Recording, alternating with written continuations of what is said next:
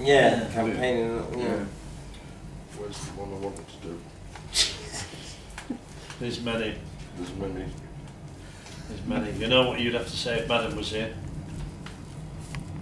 Yeah. Actually, um, Easy, easy to please, but you know what she likes.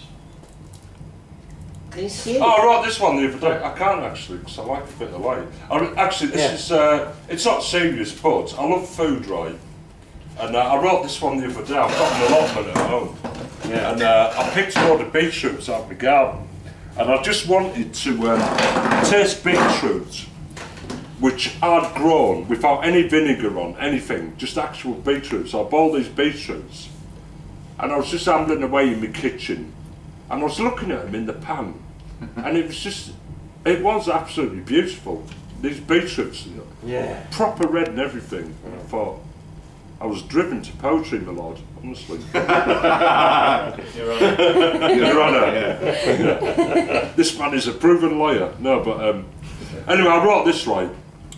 It's it's got no other meaning apart from just my beautiful beetroots, which are done.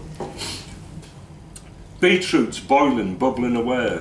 Hear how they sing, watch how they swear. In a French porcelain pan, which is turned rusty red.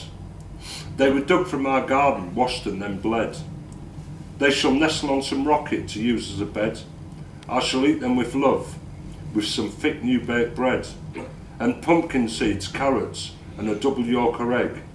All this is a sideshow for a nice chicken leg. as the sun comes through my window as I drink some hot tea, I think of all the places that I yearn to be.